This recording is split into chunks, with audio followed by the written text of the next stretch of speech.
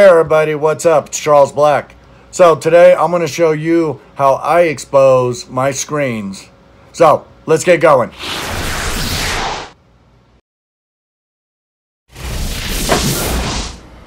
Okay, so now that we're here.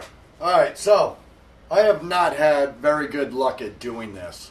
As you can tell right now, I'm in my dark room, but I've had a real hard time getting my screens to expose properly. I don't have the fancy exposure tables. All I have is just a simple bulb, um, the black light bulb that I got with the kit. Found out, realistically, I have been underexposing all my screens. How I've gotten away with the few that have turned out good, I have no idea. Um, last night I was continuously trying to expose some screens, and every time I went to wash them out, everything, all my emulsion was gone. Just blew it all out. So, with that said, we're going to go ahead. We've got a screen that's all ready to go. The emulsion's on it. It's all dry. It's ready for us. We've got our print. And don't know if you can see this print or not. This is going to be on the back of the shirts that we're going to wear up in Alaska on our fishing trip this year. Um, just kind of wanted to do this for fun.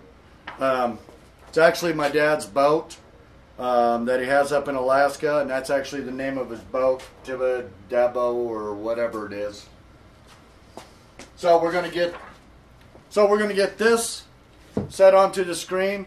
I'll show you how I um, get everything aligned, and then we're gonna get it exposed. And bring the camera over here. Probably have to get down here so you can see me. Not sure if you can see me real well or not. But basically, the way I've set up my pallet, I've got it center line. I've got, I actually even screen print my tags. So I've got marks for my tags where the artwork goes for my tags, the top of my artwork, and then of course my crest. So I've got everything lined out on here where I need to put it. So it's still a little tacky. I haven't quite figured all this out. I'm still working it. So I'm going to take my image and I am going to lay it down. And again, don't know if you can see it. I've got registration marks that I've put on here just so I can get this all lined up nicely. I like that. That will work right there. i go ahead and put some masking tape on it, onto my film.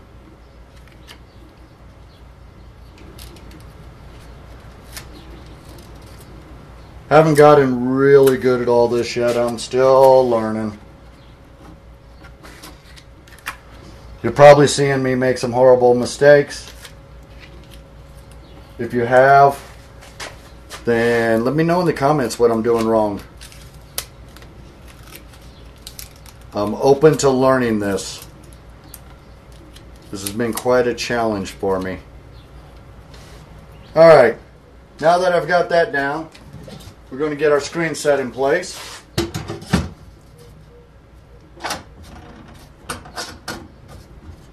And then I drop my screen down. Of course, my off contact is not set on this yet.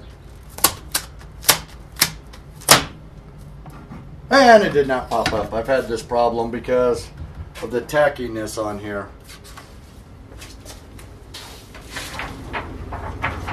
So I usually have an extra screen film that I'll slide under.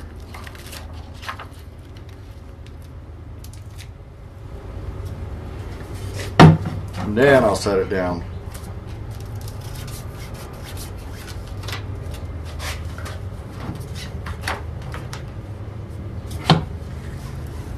Yep, like I said, I'm still learning all this. There we go. Now we've got it on there. Get this off of here.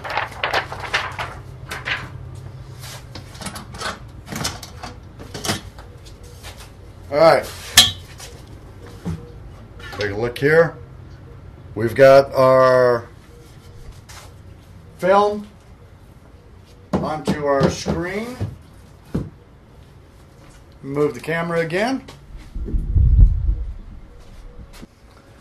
All right, now this little light setup I've got.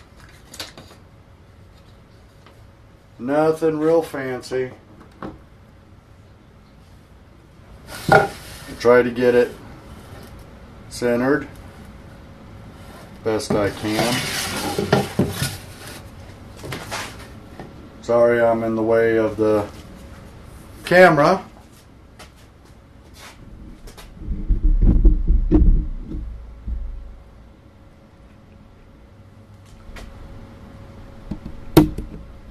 Let's make sure we're focused so you can see this.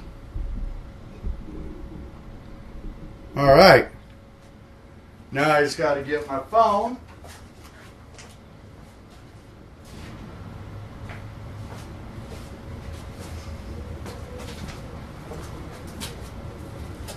So I know I've heard a lot about the different times for exposing. And I have tested this and tested this and tested this. And I have washed out several screens. I've overexposed a couple screens that took forever to wash out. But right now, with this light set up, centered 16 inches, 15 inches above the top of the screen, this single light, it is taking 13 and a half minutes to expose the emulsion. So, I've got my phone ready to go. We'll go ahead and um, kick on the light and get this started. All right, so we got 13 and a half minutes to let this expose, and then we'll be back.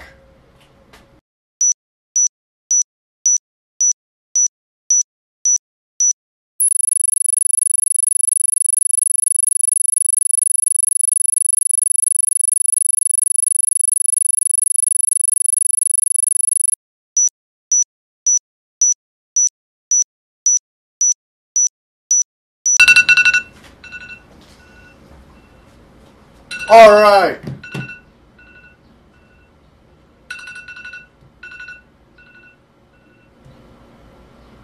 All right, so we're done. 13 and a half minutes.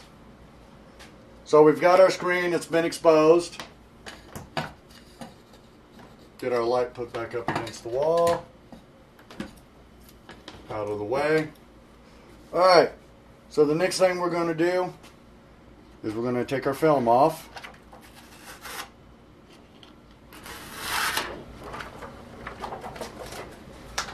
Now I seriously doubt you can see it right yet, but um, you can faintly see the burned image. So, let's go ahead and take this, and I know. Let me get over here. No, I can't.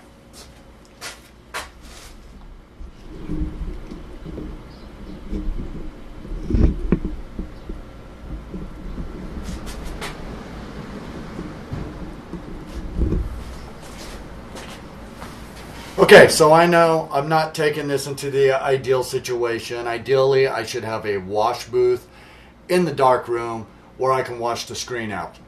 I don't have that.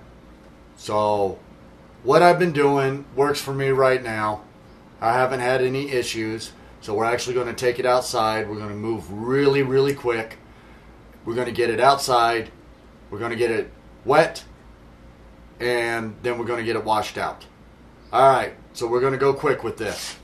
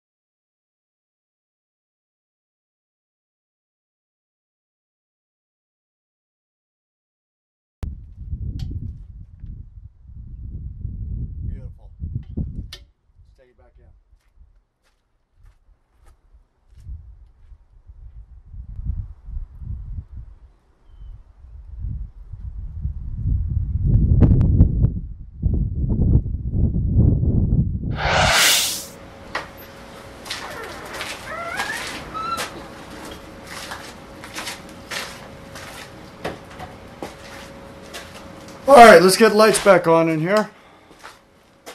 All right, so got our screen completely finished. I don't know if you guys can see that or not. I do get some of this wash look. Um, everything I've read, it's from the emulsion. They're, the screen's actually solid. We've got one little pinhole. That's alright. Nothing a little tape can't fix. So now we'll get this thing dry. Get the fan on it.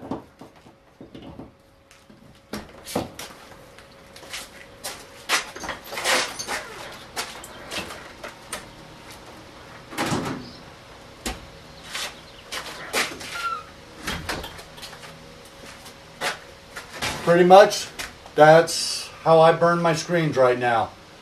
Um, keep following me. Uh, do another little video uh, when we go to print. Actually, I'm not going to do a video when we print. I'll just add some B-roll of when I print this. So, other than that, I don't know. Like I said, um, as I get more equipment, as I build this up a little bit, because um, right now I've got uh, order apparently this weekend for um, some more t-shirts. So keep following me. I do my um, vlog. I'm trying to put out as many as I can just to have fun. Um, if you like the video, give me a thumbs up. If you don't, give me a thumbs down. And again, um, if you see something I can do better, leave me a comment. I'm still learning. I'm doing the best I can with what I have to work with.